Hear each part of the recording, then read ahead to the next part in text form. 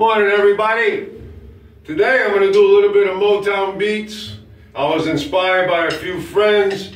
Uh, they asked me some advice. Uh, what do you know about Motown? Any suggestions? Uh, plenty of suggestions. Here we go.